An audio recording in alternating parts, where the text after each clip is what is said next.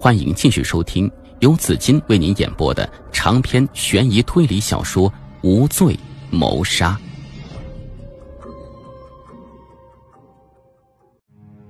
他给人质手机，为了防止人质打电话报警，或者联系什么人，他把人质的嘴缝上，这样他只能发短信给家人和熟悉的人。双手被绑，又在狭小的空间里，人质发出那条短信已经是很吃力了。也避免了他联系过多的人，而且被埋在地下的手机信号也很微弱，这也让我们难以锁定手机的位置。这些罪犯都仔细想过，这是一个很有犯罪头脑、思路周密的家伙。他用这种绑架人质的办法，可以轻易的单凭一根管子就掌控人质生死。杜志勋分析的时候，刘飞检查了箱子底。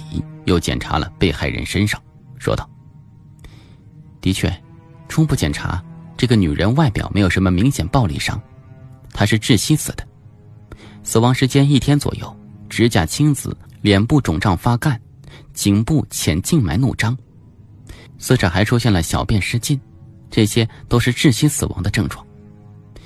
看情形，她是慢性窒息死亡的，可能由于一根管子不足以提供足够的氧气。”当然也不排除，罪犯觉得他没有利用价值了，把露出地面的管子堵上，活活憋死他了。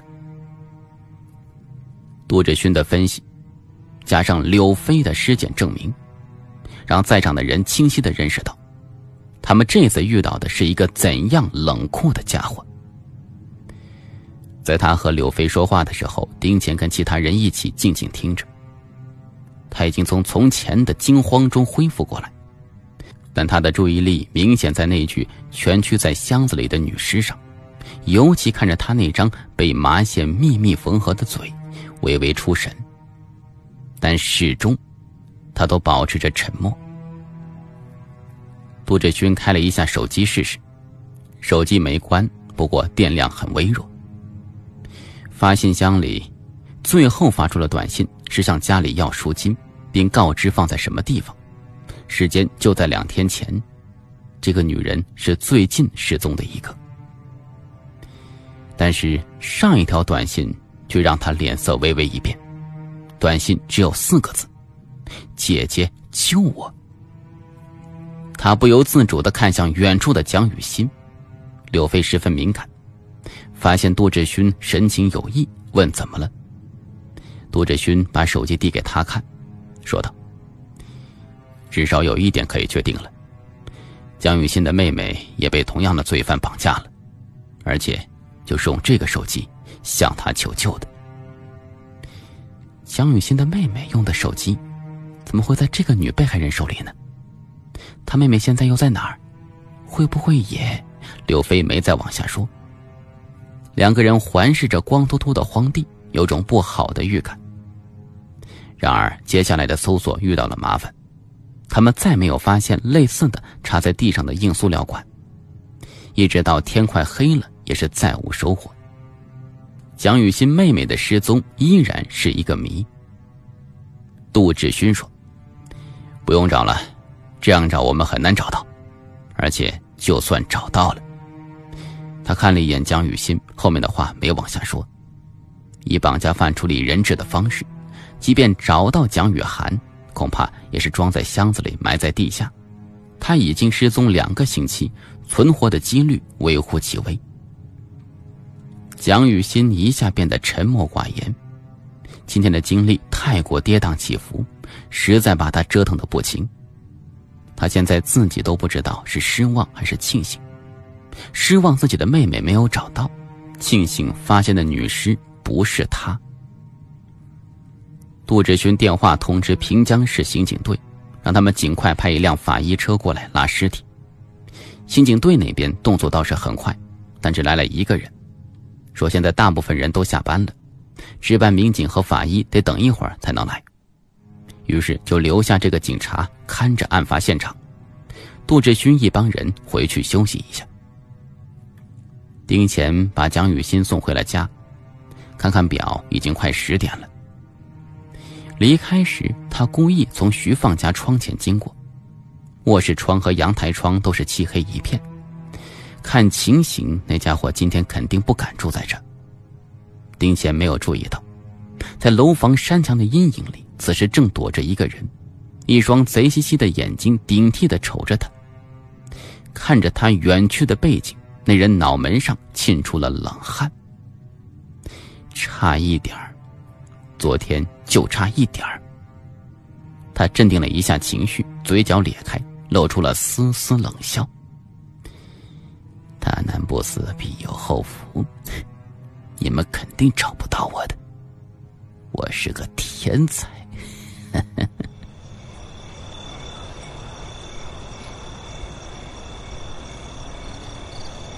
夜深人静，万籁俱寂，只剩白天里蛰伏的东西才会悄然苏醒。在房屋和树木的阴影中鬼鬼祟祟的移动。今夜格外闷热潮湿，乌云在天空中悄然凝聚，预示着一场大雨即将来临。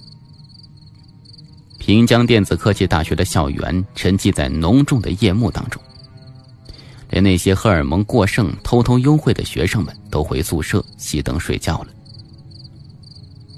在校园北区，穿过体育场的那片荒地上。不知何时围起了一圈蓝色的警戒带，在警戒带中间有一个刚刚挖掘出的土坑，挖出的泥土堆在土坑周围，挡住了里面的景象。白天里，有去体育场的学生远远的看见了，但不知道是什么，也就站站看一看就走了，都没太在意。此时深更半夜，那隆起土堆远远的望去。很像是恐怖小说里掘开的坟墓，在昏淡的月光下散发着阴森诡异的气息。一条黑影犹如孤独的幽灵，悄无声息的走向那片荒草地。在距离那个土坑不到十米的距离，他站住。他深深呼吸夜里的空气，略带凉意的空气流入肺中，让他。又感受到了那种难以言表的宁静，他慢慢闭上双眼，静静回味着几天前经历过的一切。来，深呼吸，慢慢的，好好回味那天曾经发生过的一切，令他永生难忘的一切。那天傍晚，他拖着大拉杆箱慢吞吞的走进校园，没有人在意他。这里无论是开学、假期还是周末，都有很多学生拖着拉杆箱在校园里进进出出，大家都已经习以为常了，没人留意他的拉杆箱是不是比正常人用的要大几号，也没人好奇他这里面装的是什么。他戴着帽子，低着头，故意把脸遮挡到最小。他对这里的环境很熟悉，他知道哪里人少。哪里被惊？他拖着箱子，穿过体育场，天已经完全黑下来了。他走得并不快，他留意四周，确认没有人，才走上北面的荒地。这是一个十分理想的地点。荒地中间有两栋建了一半、已经荒弃的房子。他拖着拉杆箱走到房子的西北面，正好可以挡住。东面通往学生宿舍的那条路，那也是唯一可能有人经过的地方了。欢迎继续收听由紫金为您演播的长篇悬疑推理小说《无罪谋杀》。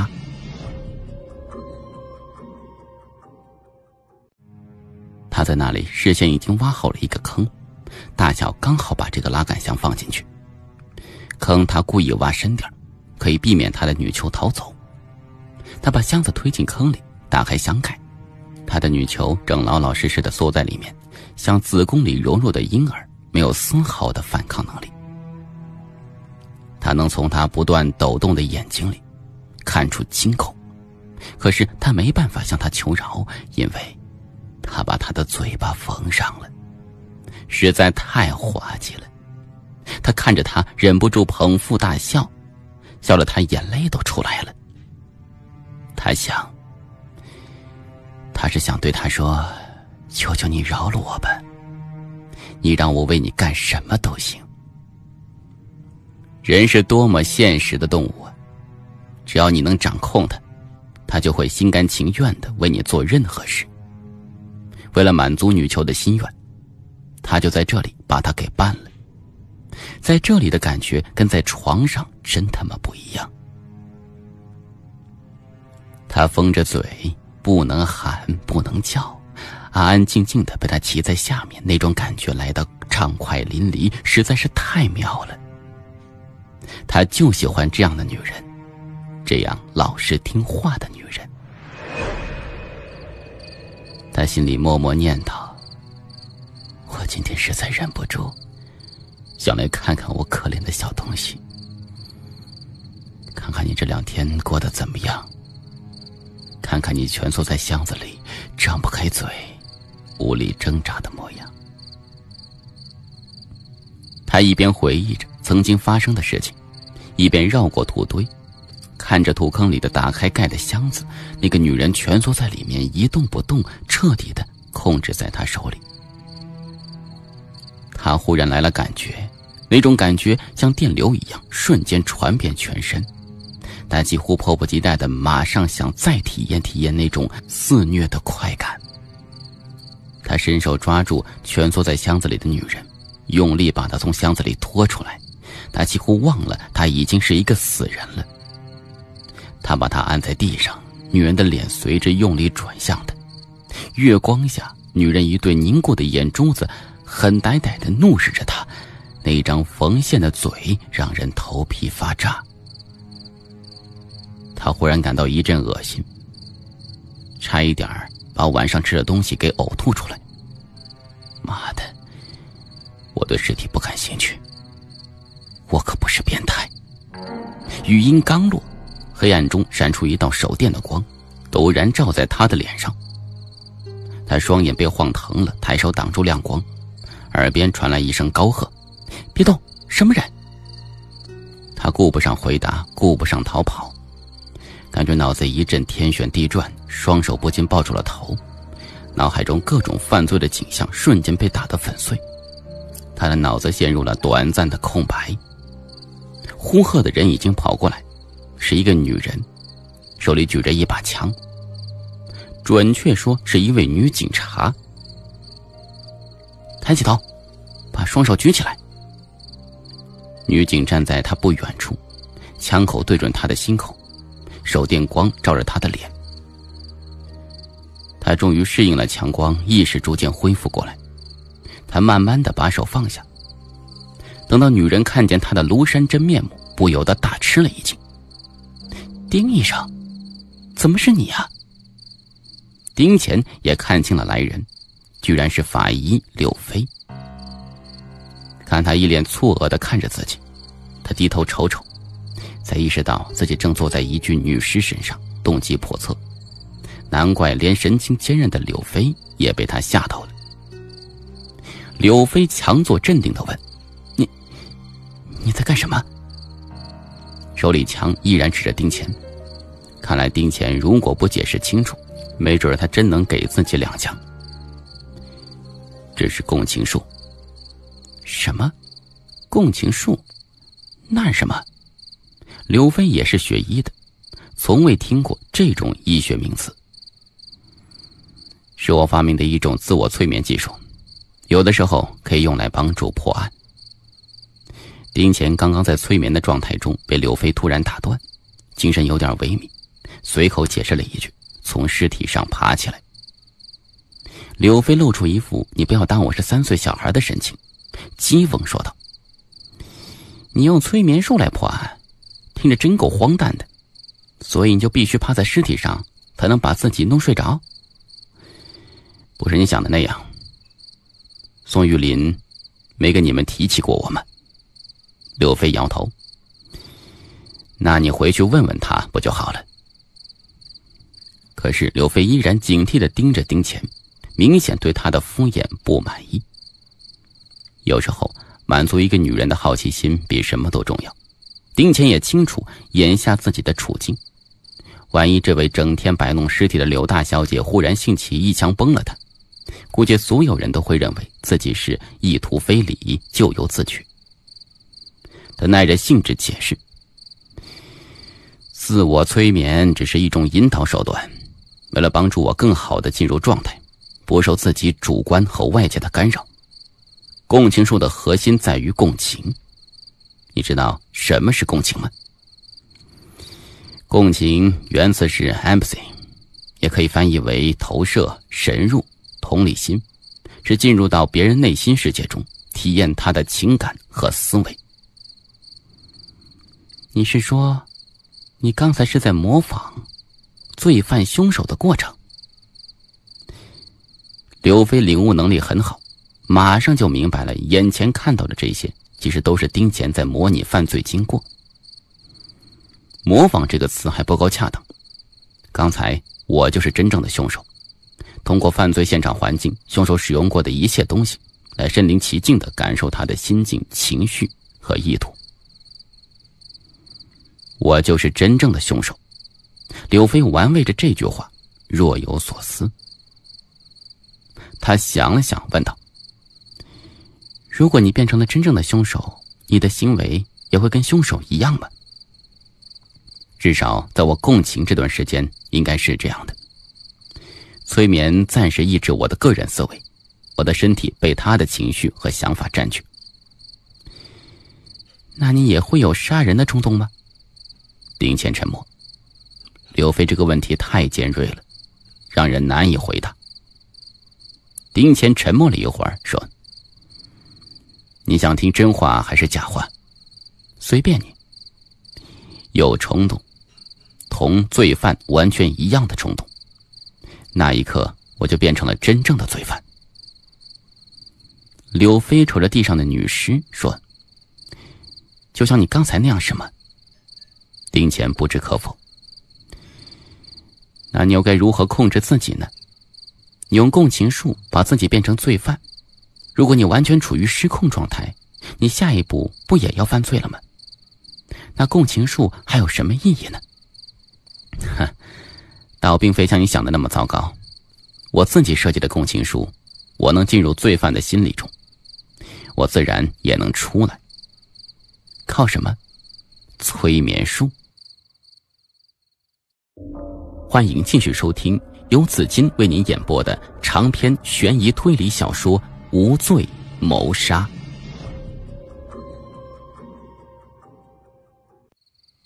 我利用催眠术把自己带入半梦半醒的状态，它就像一个开关，我要一开始给自己设定好开始和结束的指令，当我产生犯罪欲望的时候，就会引发终止指令，我就可以从容的从共情中分离出来。万一指令失效了，你怎么办？那你就一枪打死我呀！刘飞一凛，凝重的看着他。丁乾笑道：“ 我跟你开玩笑的，怎么可能发生那种事？你也太小瞧我了吧！”天边隐隐传来雷声，看样子很快就要来雨了。柳飞收起枪，抱怨说：“现在不是开玩笑的时候。你这也不是单身女人该来的地方啊！万一凶手回来怎么办？你怕我开枪打不着他？”面对这个太要强的女人，丁谦最好还是不跟她抬杠。柳飞说道：“平江刑警队动作太慢，到现在人还没到呢，只派了一个警察来看着现场，现在人也不知道跑哪去了。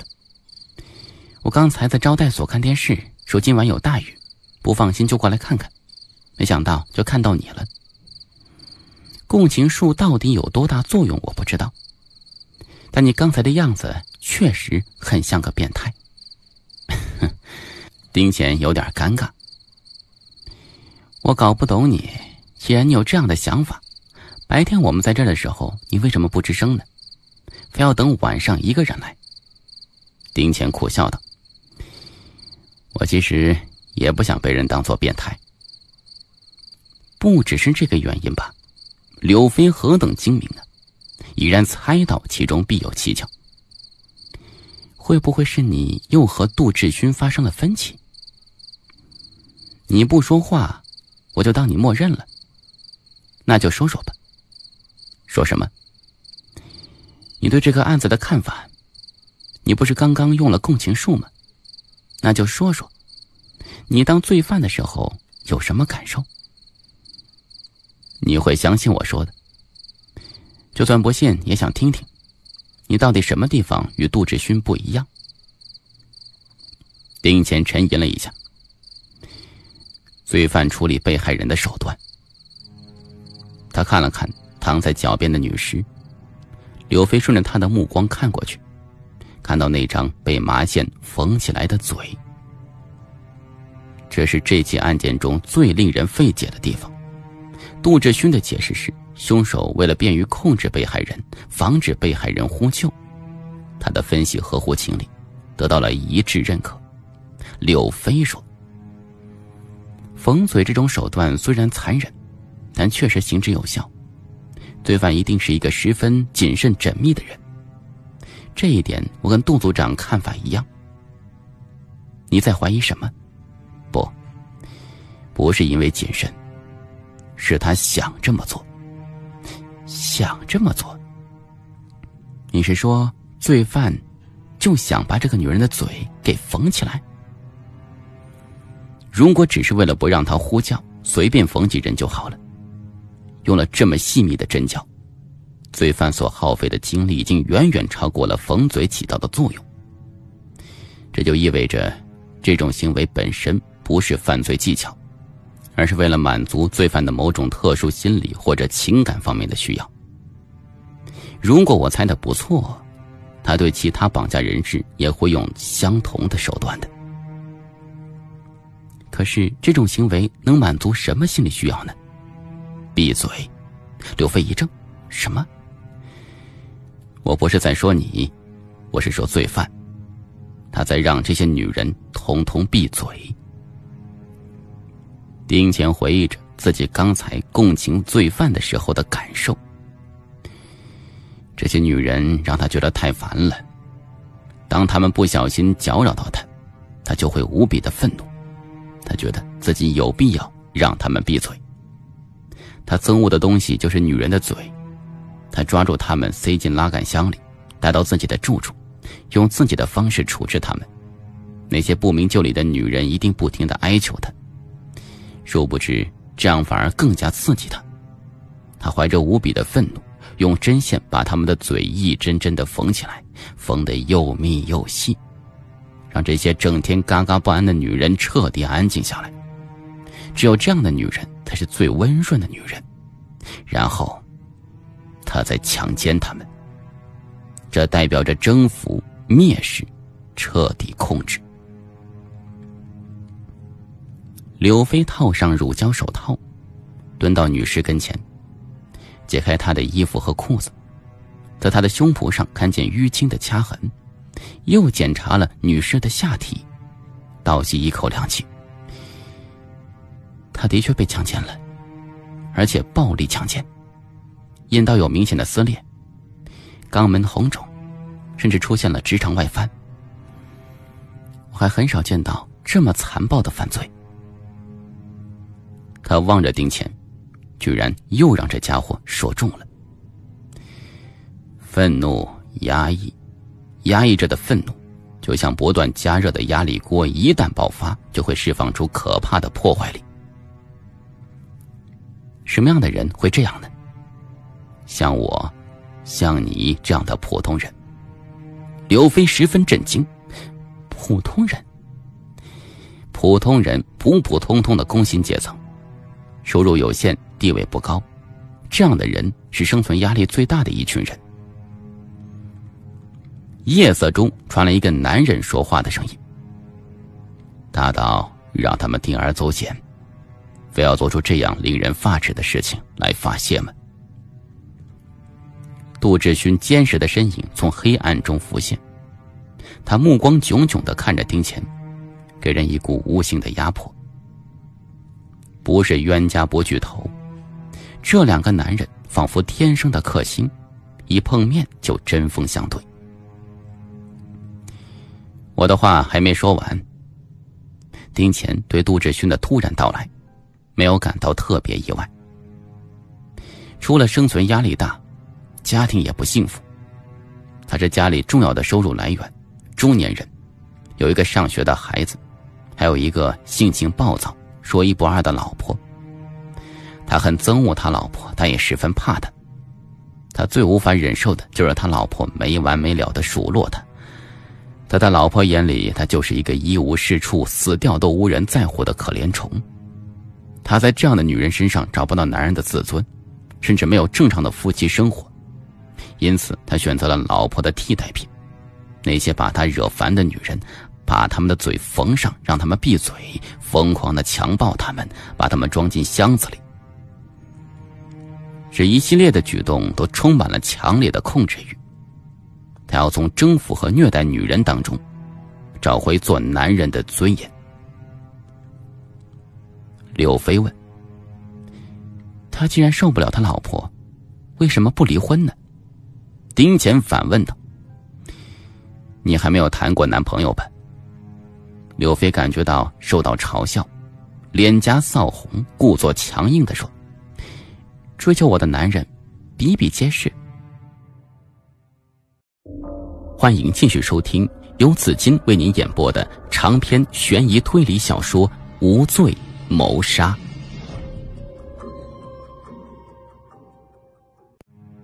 追求不算，我是说真正的谈恋爱。如果你有过谈恋爱的经历，就会明白，等你真正打算跟一个人一起生活时，你会学着妥协的。特别是有了孩子的家庭，夫妻双方，尤其是弱势的一方，往往会在家庭矛盾中选择妥协。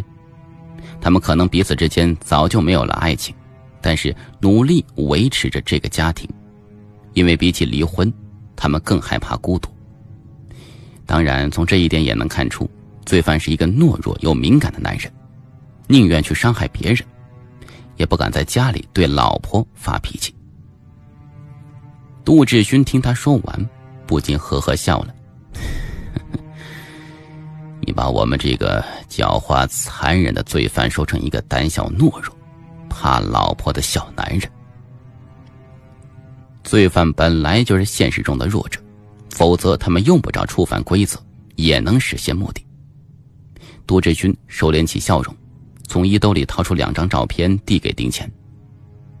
丁乾接过，借着刚刚从缓缓移动的云层里透出的月光，看见照片上分别是两具已经高度腐烂的女尸，已经发黑，呈蜷曲的状态，侧躺在好像医院的瓷砖台上，尸体面部已经难以辨认。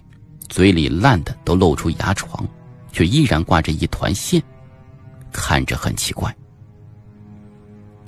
丁乾一皱眉说：“这是。”柳飞走过来，从他手里拿过照片，看了一眼，惊讶的问道：“这不也是被缝上嘴的两具尸体吗？是在哪儿找到的？”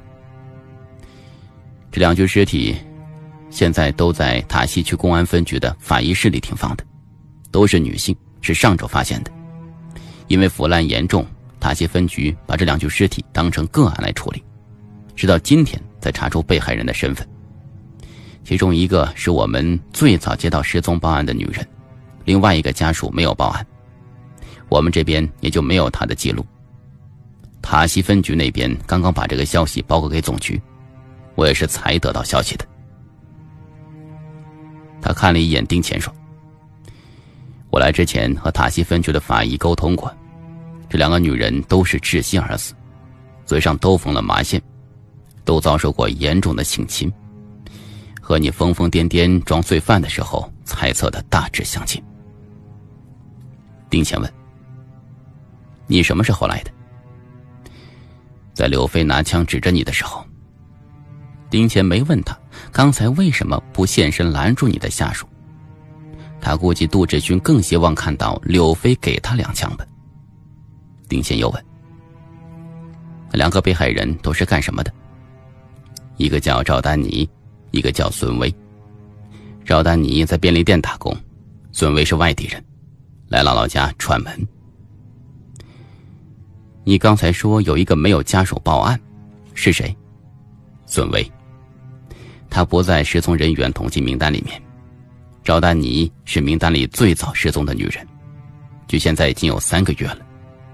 孙威的死亡时间比他还要早一点，他应该是目前为止第一个遇害者。家属为什么没有报案呢？他姥姥姥爷以为他回家了，他父亲以为他还在姥爷家，结果谁都没有过问。这两个人彼此认识吗？塔西公安分局查过了，这两个人之间没有任何联系，可以说完全不认识。他们的尸体在哪儿发现的？怎么惊动了另外一个区的公安分局？他们的尸体都是在沙河下游高架铁路桥的浅滩那儿发现的。丁乾有点诧异，距离这里这么远。沙河下游的高架桥距离平江科技学院少说也得七八公里远，罪犯的活动范围这么大吗？我查了一下沙河的地图，它几乎是贯穿了平江市西部，上游河道正好就在科技学院附近。我怀疑这个罪犯当初是把两个人装进拉杆箱扔进河里，或者扔在河滩。上两个月连续下暴雨。河水涨水，就把那两个箱子一起冲到了下游。杜志勋的推测倒是很新颖，丁健听着很有道理，没有反驳。不过，这两个被害人倒是不像眼前这一位，罪犯没有把他们埋起来，而是直接遗弃了。柳飞插嘴问：“箱子来源，塔西公安局那边有查过吗？”查过，都是一些地摊货，不是大商场的正规品牌，没什么线索。丁贤问：“罪犯有没有要赎金的？”没有。我们最早统计的失踪人员名单里只有赵丹妮。罪犯没有勒索被害人家属，只是把他嘴巴缝上强暴之后，装进拉杆箱里遗弃了。当然，现在还要算上孙威了。除了这两个之外，凶手改进了作案方式，采用了更加隐蔽的方法，设计出了一套出人意料的绑架模式，从单纯的暴力强奸，演变成了连环绑票。丁健接着杜志勋的分析往下说：头两起作案，罪犯只是处于适应阶段，之后他开始进化，当然这其中也不排除。他早就想过弄一大笔钱，只是还没有想到弄钱的方式，更没有想到把绑架女人和勒索联系在一起。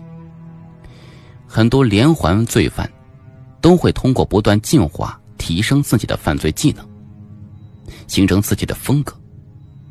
作案次数越多，周期越长，风格越鲜明。杜志勋点点头，他们难得想到了一处。不禁相视一笑。这种诡异的激情在旁人看来有点发瘆。几道交错的车灯灯光照过来，马达声由远及近，两辆警车开过来，其中一辆是法医车。平江刑警队的警员终于赶到了。那个原本负责看守现场的警察不知道什么时候也气喘吁吁的跑过来，看到杜志勋，连忙行个礼，很热情的说：“杜警官，您来了。”杜志勋没睬他。如果他是刑警队长的话，早把这样工作不上心的警员踢出警队了。刑警们和法医七手八脚的把尸体运上法医车，又在现场进行了简单勘查。雨已经开始下，而且越下越大。下雨是最让法医和刑侦人员最头疼的事情。雨水能把现场有用的线索洗刷得干干净净。他们围着土坑里里外外或七或四的在收集物质，但雨越下越大。杜志勋冷冷的说道：“不用弄了，现在收集再多东西也是没有用的。”说完上了车，丁乾早就躲在车里等着了。他可是讲究品质生活的人，不能让自己有一点不舒服。杜志勋坐在车里。外面已经下起了大雨，地面上激起了成千上万朵水花，汇聚成无数条溪流。欢迎继续收听由紫金为您演播的长篇悬疑推理小说《无罪谋杀》。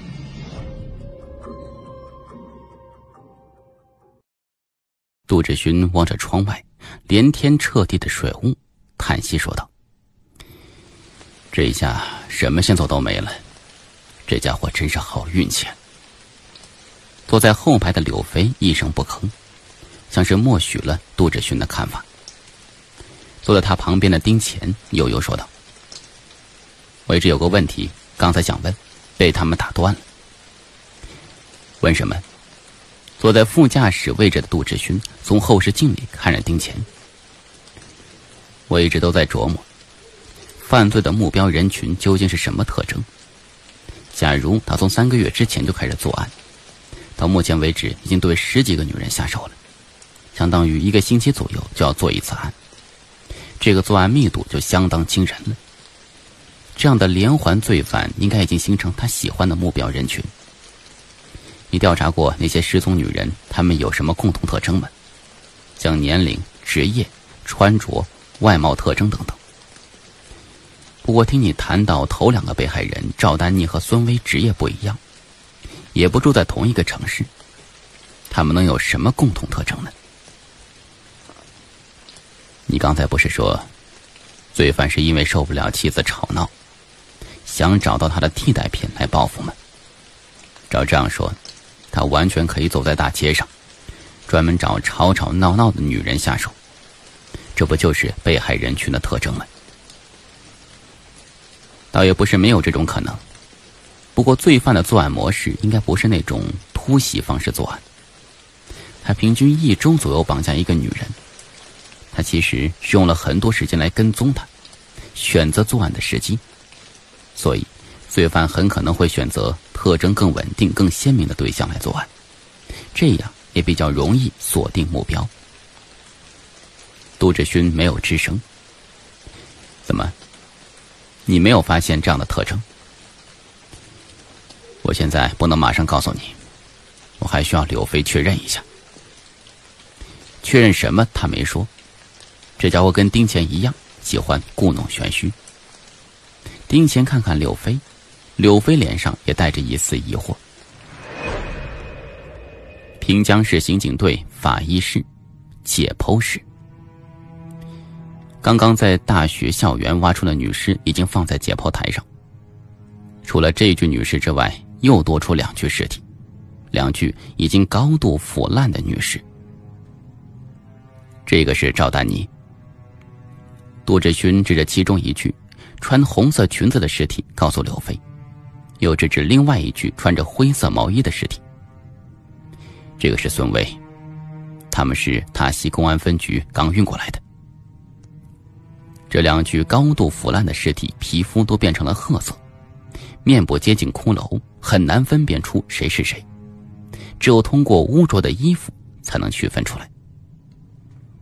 丁乾捏着鼻子，蹑手蹑脚的走进解剖室，站在刘飞身后。一脸厌恶的看着两具尸体，刘飞轻蔑的瞥了他一眼：“ 你害怕？我不是害怕，在我心中，女人应该是世界上最漂亮的生物。看到这些东西会让我产生心理障碍的。你不是心理医生吗？心理医生也是人呢。你受不了可以出去。”丁乾没有出去。他还想知道杜志勋要干什么呢？刘飞瞧瞧那两具尸体，问杜志勋说：“你是想让我给他们尸检？塔西分局不是已经检查过了吗？你不相信他们？那倒不是。我只让你检查一些细微的地方。我们还是头一次聚集三个被害人，看看我们能不能找出他们的特征来。”杜志勋的话，也是回答了丁乾的疑问。丁乾关注的，也正是他关注的。刘飞问：“你要我检查哪里？”脸。脸。柳飞看了看那两具腐尸，脸皮都已经腐烂缩水，完全变形了，看着越发像骷髅。还能从哪里看出他们的共同特征来？杜志勋指了指平江科技学院发现的女尸，她是最近遇害的，也是保存最好的。你看看她的脸，左脸腮帮的位置。柳飞不加思索的说：“有颗黑痣。”他观察力惊人，记忆力也惊人。早在案发现场挖出女尸的时候。他就已经把尸体的身体特征记在心里了。让你过来，就检查一下另外两具尸体，看看他们是不是一样的。丁乾咂咂嘴说：“这怎么检查呀？脸都烂光了。”柳飞不以为然的撇下嘴角，走到穿红裙子的腐尸面前，拉过移动式紫外线灯，照在尸体的左脸上。表皮和真皮已经脱水收缩，仔细观察还能发现一点点淡淡的阴影。他抄起手术刀，把那点阴影薄薄的刮下来，放在载玻片上，拿到显微镜下观察，然后说道：“显微镜下有颗黑色素包聚集，直径大约四毫米。从深度和颜色来看，赵丹妮的左腮帮上长了一颗黑色的混合痣。”他又用相同的方法检查另外一具腐尸，然后说：“孙威的左腮帮也有一颗黑痣，直径大约一厘米，很像皮内痣，比赵丹妮的黑痣大一倍，颜色更深，位置大抵相同。”杜志勋点点头说：“这两人照片我见过，脸上似乎有黑痣，我看不清楚，只是怀疑。现在可以确定。”我们目前的三个被害人都是左侧脸有痣的女人，还有那个报案人江雨欣的妹妹江雨涵。我来之前看过她的照片，也是左脸有痣的女性。这确实不像是单纯的巧合呀。他转向丁乾说：“假如你的罪犯分析的正确，他是把对他老婆的憎恶转嫁到其他女人身上。”那他的老婆肯定是一个左脸有黑痣或者痦子的女人，所以他对这类女人尤其憎恶。这个发现虽然不足以让我们找到这家伙，但我相信，我们正在越来越接近他。公安局外，此时正在大雨滂沱，地面上的积水已经汇聚出河流，伴着黑沉沉的天空，不时传出滚滚的雷声。这场大雨整整下了一夜，直到第二天黎明才停。整座城市经历一番洗礼，高高低低的房屋全部沾上一层水汽，路上的溪流夹杂树叶和塑料垃圾涓涓流淌。一场大雨之后，人们照旧上班，无暇注意身边发生了哪些变化。两个住在河堤附近的流浪汉，趟着积水。捡那些从上流飘下的塑料瓶子，想卖点钱。他们万万没想到，捡到的不仅是塑料瓶，还有一个行李箱。行李箱是从一个土坡上冲下来的，上面沾满了泥沙，沉甸甸的，一个人都很难拎起来。欢迎继续收听由紫金为您演播的长篇悬疑推理小说《无罪》。谋杀。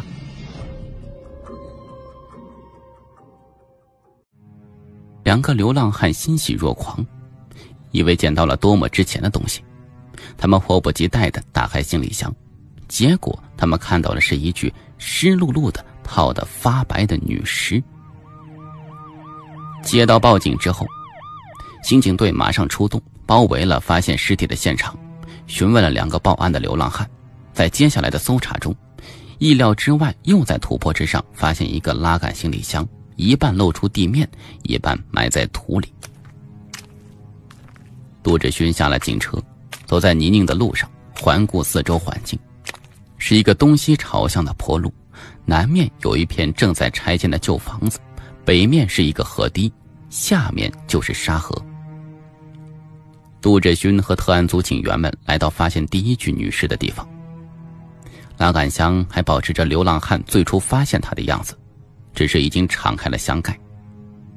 里面蜷曲着一个短发的女人，上身裸露，下身只穿着一件三角内裤，手脚都被绑着，即使不用把她的头转过来，从侧面也能看见从嘴角开始密密缝合的麻线。这个鲜明的特征让杜志勋他们一眼就能认出来。这个女人被泡得全身发白，身上的血管变得又黑又突出，犹如渔网一样印在皮肤上。柳飞来到尸体前，蹲下身，一边检查一边说道：“死者已经出现腐败静脉网，尸体裸露在空气中，一般要五到七天才能变成这样。但死者是埋在地下，封在箱子里，在缺少空气的环境下，腐败速度也会随之减弱。我推测，这个女人实际死亡时间在两周左右。”年小光问。你怎么知道她是被埋在地下呀？这么大的箱子放在路边，不出几天就会被人发现的，被害人也不至于窒息而死。刘飞根本不屑于回答这种低智商的问题。杜志勋问刘飞：“你确定他是窒息死亡的吗？”体表没有明显的伤，但是在脖子上有几道凌乱的指甲抓痕。一般当人喘不过气来，就会本能的抓挠自己的脸皮和脖子，或者是能触碰到的什么东西。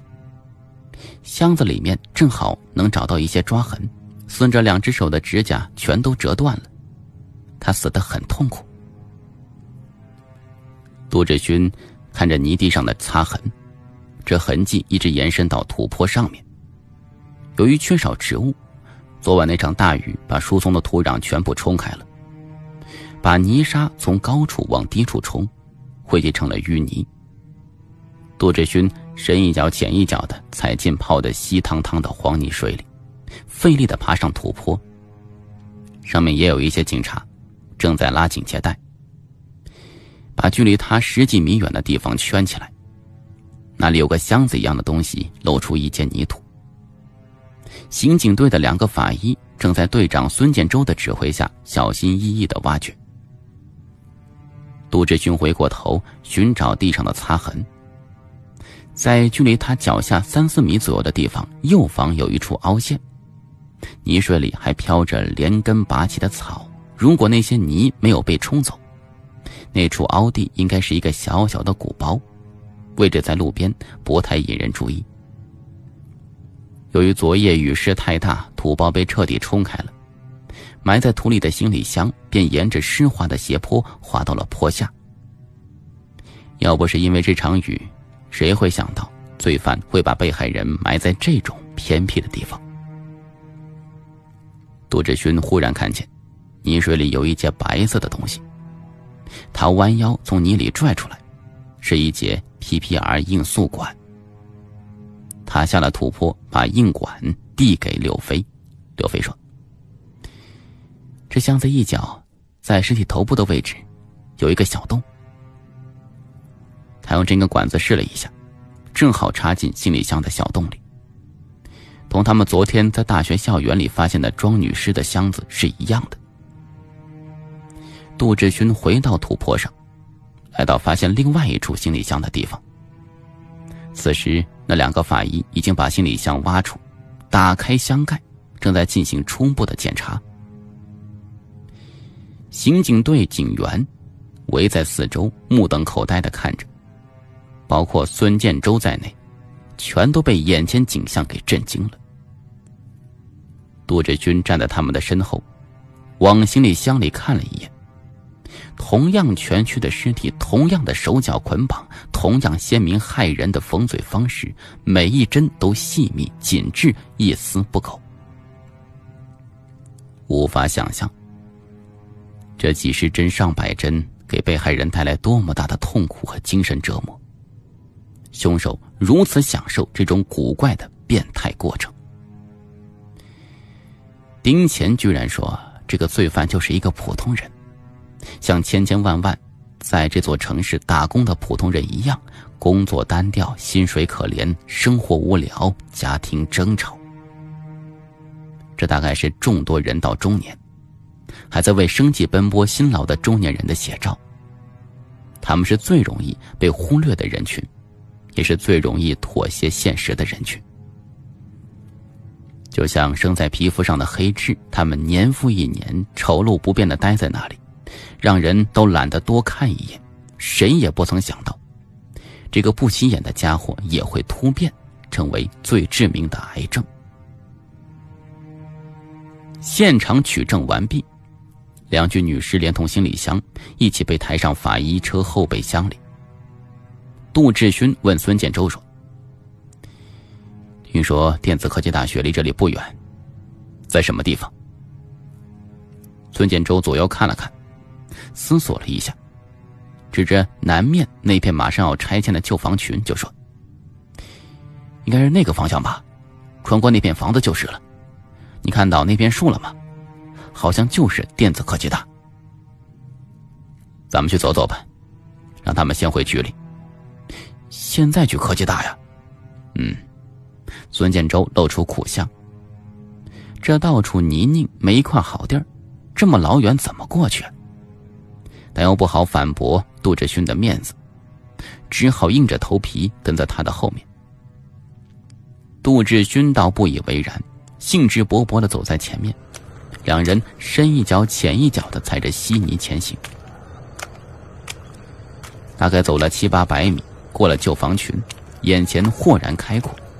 在一眼望不到边的栅栏围墙后面，是整整齐齐的树木和房屋，还有一个尖尖的钟楼突兀而上，直指天空。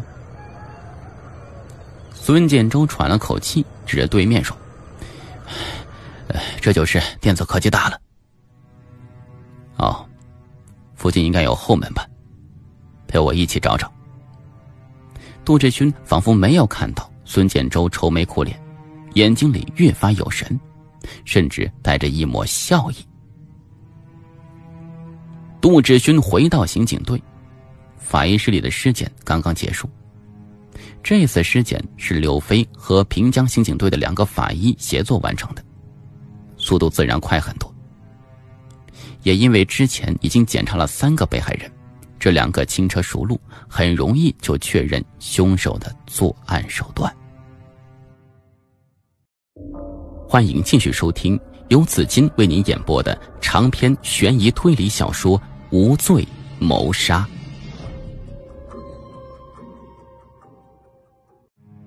刘飞刚出解剖室，法医赵山还没有拖下去，就来向杜志勋汇报。孙建州也在场。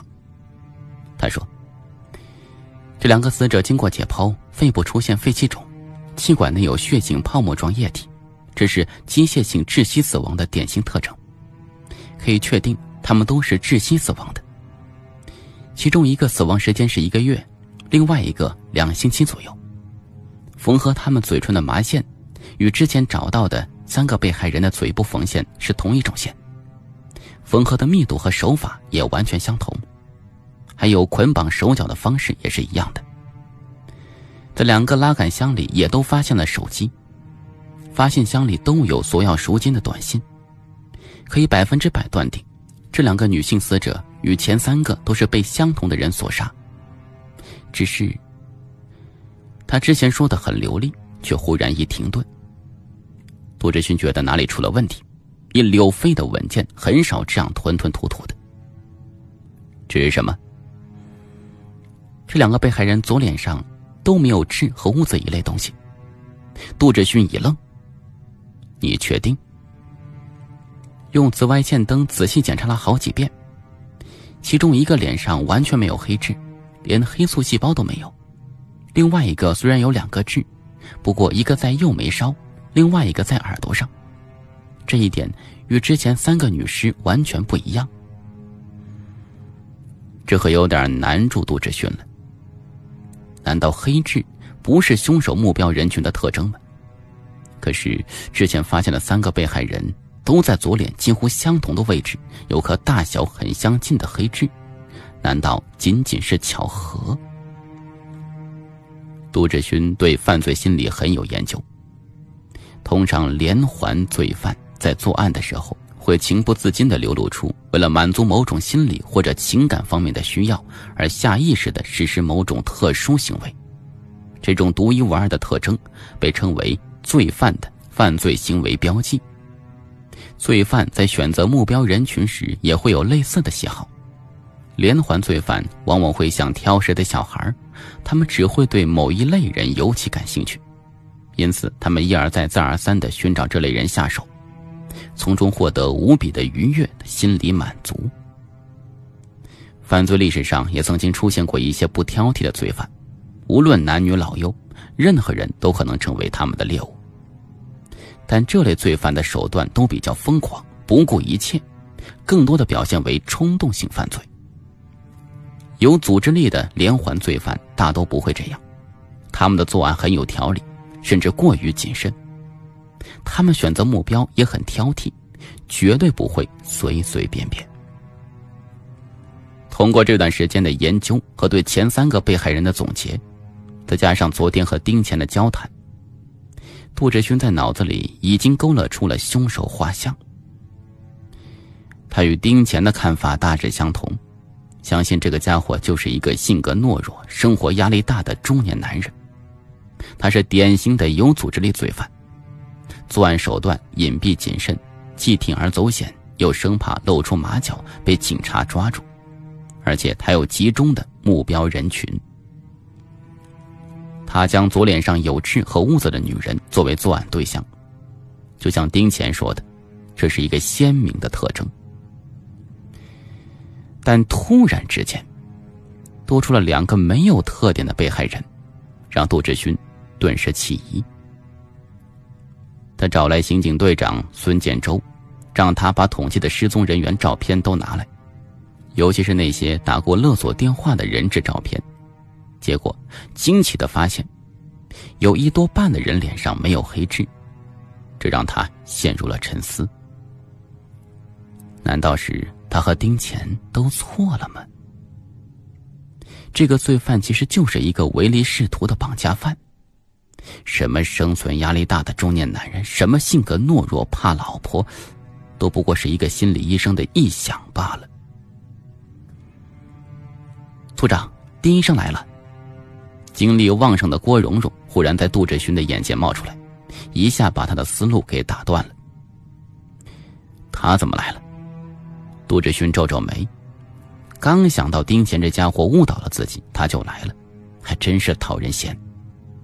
郭蓉蓉会察言观色，刚要说是我告诉他的，见组长面色不善，知道他讨厌丁乾，大眼珠转了转，委婉的说：“昨天不是有个叫蒋雨欣的女孩，你还记得吗？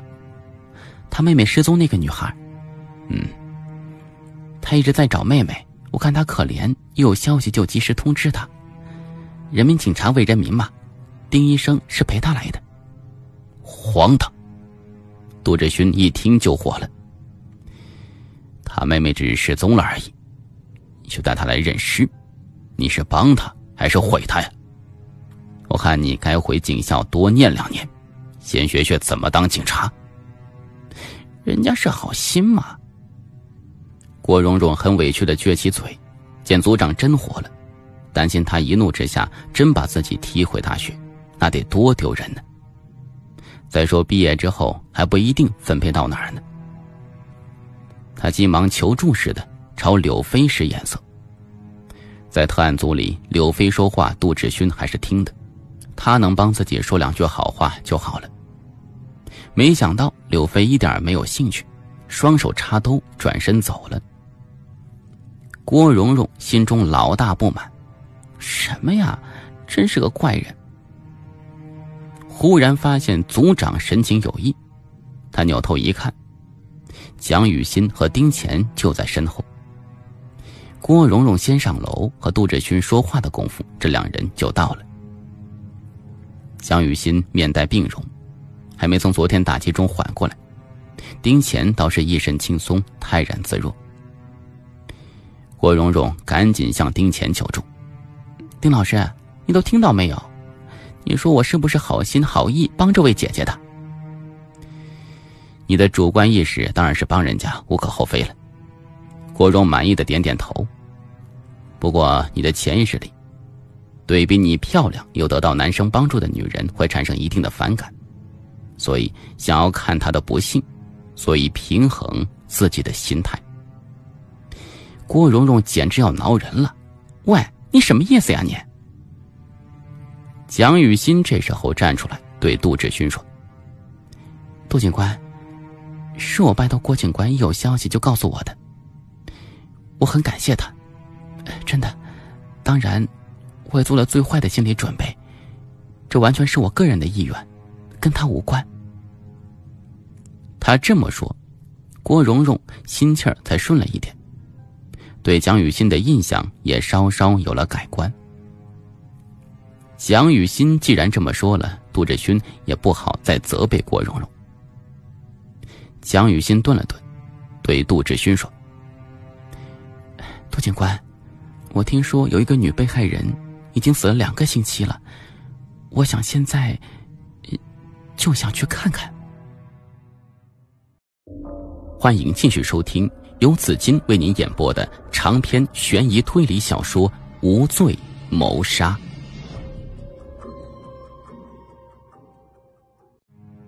杜志勋本来对丁钱有股火，可是看见面前这个柔弱的女孩，眼中泪痕未干，苍白的嘴唇微微发抖，又有些于心不忍。他注意到，在女孩忧伤的眼中，散发着一股与外表极不相称的坚定与执着。连杜志勋这样心肠坚硬的汉子也不禁心软，叹口气说：“好吧，不过你要有心理准备。”尸体不会太好看，如果你觉得不行，可以让你父亲代替你来认尸。不，我能行。蒋雨欣坚定的说着。杜志勋带着他来到法医室，通知了柳飞。等柳飞那边把尸体重新缝合整理好，再把蒋雨欣带进停尸间。这具可能是蒋雨涵的女尸，被放在移动担架上，身上盖着一张白布。只露出凹凸的人形。江雨欣走到移动担架前，望着白布覆盖的尸体，简直连呼吸都停止了，手脚不住的打哆嗦。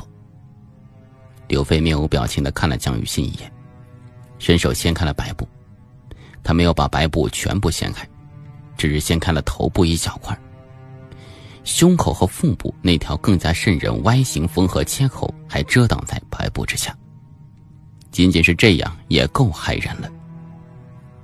死亡两星期的尸体，五官已经走样，双眼外凸，脸也像充了气似的发胀，连嘴都张开了，把缝在嘴唇上的线绷得紧紧的，半截发绿的舌头就挡在麻线后面，形成一个古怪的表情。江雨欣还是低估了自己的承受能力，只看了一眼就差点昏过去。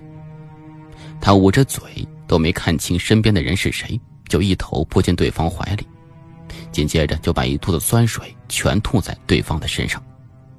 吐完了，他也清醒了，一脸尴尬的抬头一瞅，被自己喷脏的人，原来是丁钱。对不起，丁医生，对不起，真对不起。他恨不能找个地缝钻进去，慌忙掏出纸巾要给丁钱擦，丁钱拦住他，温和的说。没关系，没关系的。柳飞对蒋雨欣的狼狈无甚反应，只是冷冷的问道：“你看好了吗？”我，我，蒋雨欣实在是没有勇气面对那颗人头，不仅仅是吓人，想到万一是自己妹妹变成那副模样，会成为他一辈子的心理阴影。刘飞问：“你妹妹有没有什么明显的身体特征？”比如说手脚什么部位有胎记或者伤疤什么的，看其他部位总比看变性的人脸要强得多。柳飞也有细心的一面，被柳飞一提醒，江雨欣忽然想起来，她，我妹妹她脚踝上有一个纹身。这个纹身还是江雨涵情人节的时候背着家里和一个上大学的男生一起逃课去纹的。一人脚上纹了一个，据说还是情侣纹身。爸妈知道之后可气坏了，老妈还打了江雨涵一耳光。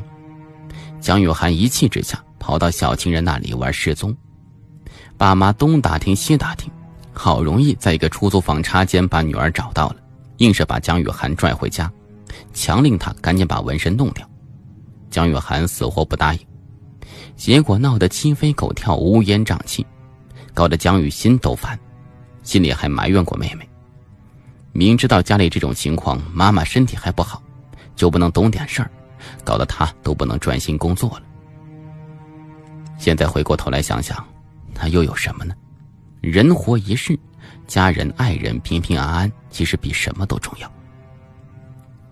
刘飞掀起死者脚上的白布单，蒋雨欣五味杂陈，眼泪又不自禁的流了出来。到头来，一家人极力反对的那个小纹身，成为他妹妹身上唯一的标记，真是一个黑色幽默。死者的脚也肿得像小馒头一样，指甲都肿得快脱落了，但看着还能接受。蒋雨欣从来没有仔细看过妹妹脚上纹的到底是什么，只是知道一个大概的位置，在右脚脚踝上红色的一小块。这具尸体右脚脚踝却是干干净净，什么都没有。他松口气，不是妹妹的尸体。之后，他们一起离开了法医室，大家都很沉默，气氛异常沉闷。江雨欣终于忍耐不住，问杜志勋：“杜警官，你说我妹妹都失踪两个星期了，为什么一点消息都没有？”杜志勋犹豫了一下。这个罪犯的作案手段十分隐蔽，最早失踪的女人孙薇到现在已经有三个月了，还没有找到。他不想告诉他，这些女人都是被罪犯装进拉杆箱里埋在地里，所以很难发现。他那个失踪的妹妹，现在也许被埋在某个地方，靠着唯一的一根通往外界的管子来维持呼吸。三个月都没有找到。蒋雨欣很吃惊的说：“那，现在你们找到几个人了？”杜志勋沉默了几秒说：“五个，都已经遇害了，是是吗？”蒋雨欣刚刚在法医室确认死者不是妹妹，本来还燃起一线希望，然而听到这样的结果，一颗心又沉下了。杜警官，那嫌疑人？你们现在有目标了吗？昨天你们抓住一个叫徐放的人，他住在我家对面，家里有很可疑的东西，绑人的绳子，还有针和线，他偷窥过我，还把丁医生打伤了。郭警官审问过他，不知道现在，现在还有没有什么进展？他已经被释放了。蒋雨欣难以置信，放了，这个人很可疑呀。那些绳子和针线经过检验，都不能证明是犯罪工具。只有绳子上的皮屑检验出 DNA 了，但是目前已知的五个被害人都没有匹配上。我们昨天还派警员搜查徐放的家里，也一无所获，所以暂时只能放了他。可是，我听说你们现在才发现五个被害人，不是失踪了十几个人吗？说不定是那些的其他人呢。那是将来的事情。我们现在手头掌握的失踪人数有上百个，只是估计其中十几个人跟这个案子有关。具体的排查和检验工作正在一步步进行，还没有找到跟绳子上那些样本吻合的对象，所以暂时只能放了徐芳。听了杜志勋的一番话，江雨欣没再说什么，脸色苍白，没有血色。欢迎继续收听由紫金为您演播的长篇悬疑推理小说《无罪谋杀》。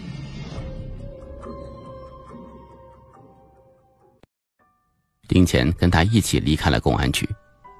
丁乾问：“你还好吧？”江雨欣勉强做出笑容：“ 没事今天晚上还去酒吧演唱吗？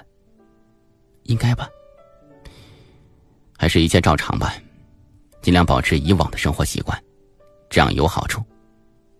江雨欣点点头，我知道了。两个人又走了一段路，到了十字路口交通灯，丁乾要往左走。他对江雨欣说：“到你晚上上班还有段时间，我现在要去医院，你跟我一起去坐坐吗？”我就不去了，我想先回家。那好，我先走了。绿灯亮了，丁乾摆摆手，穿过斑马线。蒋雨欣站在原地目送他，望着他高瘦的背影渐行渐远，不觉有些惆怅。等丁乾完全消失在视野中，他深吸了一口气，神情顿时变得坚决。有些事还得靠自己解决。他右拐来到马路，来到一个公交车站。等到一辆去家方向的公交车上了车，一路上他的心情始终阴沉着。回到家，看见父母坐在沙发上看电视，母亲高兰病殃殃的呻一个没完没了，唠唠叨叨抱怨什么。好脾气的父亲不厌其烦的劝他，他也没打招呼，直接进了自己房间，翻箱倒柜的找出一瓶防狼水，刚想出门。走到门口站住了，回头看了看桌上放着的提琴盒，犹豫了一下，回来拎起琴盒出了门。母亲一看他就来火，数落道：“一天天的也不知道瞎忙些什么，自己妹妹这么多天没个影子，也不知道帮忙找找，就顾着自己。”父亲忙劝：“少说两句吧，孩子最近也不容易，你看都瘦了。”他不容易，难道我容易吗？母亲一下就爆发了，拍着沙发高声骂道：“我这些年都是怎么过来的？上次检查我都两个加号了，说不定哪天就没了，这是让我死不瞑目呀！”瞎说什么呢？当着孩子的面，别乱说！我乱说了吗？我乱说了吗？蒋雨欣走出大门，头都不回，让他们自己吵去。他挎着提琴盒出了楼栋，看着对面那栋楼径直走去。他走到一楼窗户前看了一会儿，确信屋里有人影晃动，于是进了楼栋，来到那家门前，按住门铃不松手。里面传出一个男人走来的脚步声：“谁呀？”门开了，人高马大的徐放耷拉着人字拖站在门口。“你是？”他细一打量，忽然认出蒋雨欣了，黑黢黢的脸庞顿时就阴冷下来。你又来找事儿吗？昨天的事儿我还没找你算账呢。柔弱的蒋雨欣抬头瞅着他，漆黑的眼睛里突然散发出骇人的光芒。他不知哪来的力气，一把把徐放推了个趔趄，揪住他的 T 恤就喝问道：“我妹妹呢？你到底把我妹妹弄哪儿去了？”徐放也没想到这个弱不禁风的小女人发起飙来这么吓人，一下子也被镇住了，结结巴巴的说：“我我怎么知道？你这个疯女人竟竟找我麻烦。”这时候，从卧室里走出一个穿着连衣小短裙的女人，三十出头，睡眼惺忪的打着呵欠。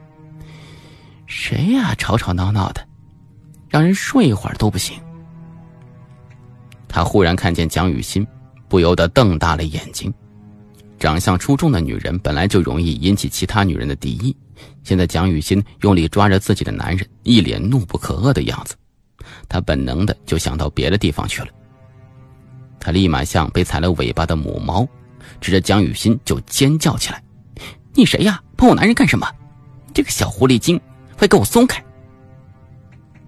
蒋雨欣根本没理睬他，继续质问徐放。你跟我说你没关系，那床上东西怎么解释？我我怎么知道？徐放未婚妻一听就不干了，调转枪口指着徐放的鼻子就骂道：“好啊，我说你怎么不让我过来住呢？还说放什么甲醛？原来是你背着我拿咱们的婚房养小三儿，姓徐的，你不是人，你混蛋，你畜生！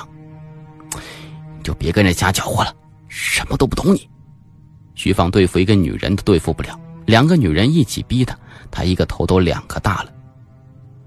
蒋雨欣指着徐放的未婚妻就说：“你给我闭嘴！我没问你，你。”女人满脸吃惊，还从来没见过这么嚣张的小三呢。蒋雨欣揪着徐放质问道：“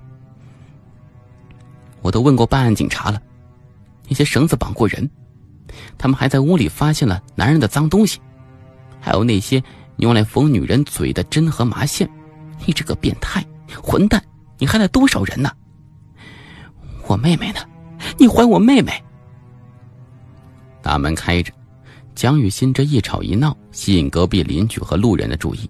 不少人在门外缩头探脑，向里面张望，但没有一个人往刑事案上想，都猜测徐放是脚踩两只船，也许是三只船，现在露馅了，被姑娘逼宫呢。我都说了多少遍了，我根本不认识你妹妹，你这个女人是不是脑子有毛病啊？昨天把我弄到公安局里，今天又来找茬你想死是不是？徐放未婚妻二话不说。闻听上去给了徐放一个大嘴巴，好啊，你都被人家告到公安局了，还骗我说昨天跟朋友喝酒，你这个骗子，负心王八蛋，都干了什么见不得人的事儿？我真瞎了眼，能看上你？也不给徐放解释的机会，气呼呼的夺门而出。徐放恼羞成怒，用力推搡，蒋雨欣毕竟单薄，重重的摔在地上。妈的，臭婊子！我告诉你，我不知道那些绳子到底是怎么回事，我也没绑架你妹妹，你听明白没有？他指着江雨欣破口大骂，甚至还觉得不够解气，走到门口恶狠狠地瞪了一眼那帮看热闹的邻居，用力的把门关上了。他回身走到江雨欣的面前，抓起她的衣服，就像抓小鸡似的。毫不费力的把他从地上拎了起来。你不是一直污蔑我犯罪吗？好，我现在就犯个罪给你看看。你说，你想要哪种犯罪？蒋雨欣奋力挣扎，不经意间和徐放的身体发生了摩擦。徐放神情呆了呆，双手开始不老实了。欢迎继续收听由紫金为您演播的长篇悬疑推理小说《无罪谋杀》。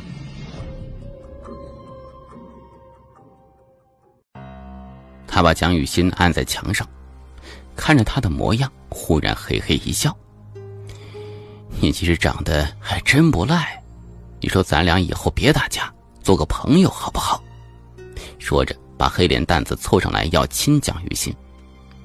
蒋雨欣突然举起一只手，徐放只看到他手里拿了一个小东西，还没看清是什么，蒋雨欣就朝他脸上一通狂喷。徐放捂着脸惨叫，蒋雨欣挣脱，跑到门口想开门逃走。小婊子，我弄死你！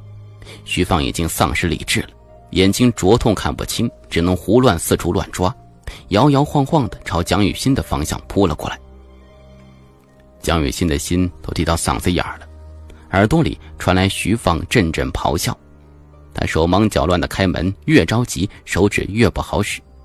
徐放近在咫尺，眼看着要扑上来了。你往哪儿跑？徐放一声咆哮，一把抓住江雨欣的胳膊。他想把女孩拽回去，江雨欣突然打开门，失去重心的身子踉跄着跌出门槛。徐放不肯放手，江雨欣奋力挣扎。恰好这时候，一个人走进楼栋，目睹了这一切，沉声低喝道：“徐放，你被捕了！”突然传来一嗓子，把徐放吓了一哆嗦。他现在一想到警察，心里就发怵，急忙松开手，吃力的睁开眼睛，两只眼睛肿成桃子一样，模模糊糊的看见一个人走向自己。蒋雨欣看到来人，像看到救星了，急忙爬起来跑过去。徐放忍着疼，努力睁大眼睛。当他发现来人没穿警服，心里起疑。当他再仔细一看，认出来人就是那个挨了自己一棒子，又处处给自己下绊子的心理医生，恨不能弄死他。妈的，我正要找你呢，你来的正好。他撸胳膊挽袖子，朝丁钱逼了过来，要把一肚子火发泄到丁钱身上。蒋雨欣紧张的拽着丁钱胳膊，地上。可是这家伙稳稳站在那儿，根本没有逃跑的意思。蒋雨欣怀疑他是不是真想跟徐放打一架？难道他之前挨揍是有所保留，其实深藏不露吗？丁乾带着冷笑看着徐放，就像看着一只束手就擒的罪犯。徐放，你以为把你放了就没你事了吗？你自己之前干过什么？想必你很清楚吧？徐放原本凶神恶煞的表情突然一僵，站住了，愣愣的瞅着丁乾。丁乾从他眼中看到了紧张。你原本十年前就退伍了，但你在铁路局只干了五年。五年之前，你在哪里？徐放费力的咽了一口唾沫。我们刚刚查到，你因为抢劫罪被判了五年，经过减刑，提前一年被释放了。你找人托关系改了档案。把不光的那一页删掉了，然后又托关系才进了铁路局，但是你这段黑历史却没人知道，你也不敢让人知道。徐放冷汗淋漓，可是，可是你们不能因为我有前科就抓我，我这些年遵纪守法，什么坏事都没做，你们不能无缘无故的抓我。徐芳不停的往丁乾身后瞧。他还真以为丁乾带着警察要抓他了。有前科的人刑满释放五年之内再犯罪的可能性是很大的。你上一次犯案是因为抢劫，这一次又跟绑架勒索案扯上干系。你家里那些绳子，你到现在为止都说不清是怎么来的。你说我们可能不怀疑你们？徐放急忙回答：“我上次忘了。”现在想起来了，那些绳子是装修房子的工人留下的，我平时也没太注意，就扔在那儿没管。装修工人留下的吗？真的吗？你有他们的联系方式吗？我想核实一下。徐放装模作样跑进屋，我回去拿手机，我给你找找看。蒋雨欣攥紧粉拳，屏息怒视，等徐放出来。做好战斗的准备。丁乾拍拍他说：“还站着干什么？走了。”走，去哪儿啊？蒋雨欣一脑子没转过弯来。当然离开这儿越远越好了。难道等他出来挨锤呀？他可是武警出身。可你不是说他有前科吗？有前科不代表那些案子是他做的，我们还没有找到证据。那些话只是唬唬他的。江雨欣这才恍然，合着丁乾刚才是摆了一招空城计吓唬徐放呢，演的还真像，不愧是心理医生。当然，我还真挺怀疑这个人的。丁乾悠悠的说：“不过不是因为他有前科，那是因为什么呀？我刚才还有些话没说。”徐放今年三十九岁，结过一次婚，刚离没多久，有一个上小学五年级的儿子。这些特点恰好是我之前分析出罪犯的身份和背景，他完全符合。蒋雨欣几乎叫起来：“既然这样，那就肯定是他，为什么不抓他呀？”你先冷静冷静，听我说。首先，我的分析只能作为参考，不能作为证据。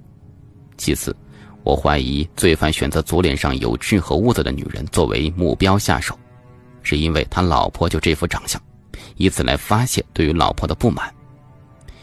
不过，我查过徐放的前妻，他左脸上并没有痣和痦子，也没有其他和那些被害人相似的地方。我的推测，目前来说还是有点站不住脚，所以只能暂时放他一马。不过，他现在既然已经暴露了，只要有什么异动，警察就能发现。行了，走吧。蒋雨欣一边走，一边还不放心，不时的回头往身后瞧，生怕徐放追出来。丁乾走得四平八稳，说：“放心吧，他一时半会儿出不来，他很怕被我们抓走呢。”丁乾说的没错，他们离开之后，过了半个多小时，徐放才战战兢兢的走出来，愁眉苦脸的说：“我找遍了。”就是没有找到那些装修工人的电话号码，可能是我老婆上回玩我手机时候不小心给删了。无人回答。他走出大门，发现丁贤和江雨欣都不在，心中有些纳闷，张大胆子出了楼栋，四下张望，没看见警车，也没看见穿制服的警察。他纳闷的琢磨了半天，忽然狠狠一跺脚。骂骂咧咧的说：“操！我被孙子耍了。”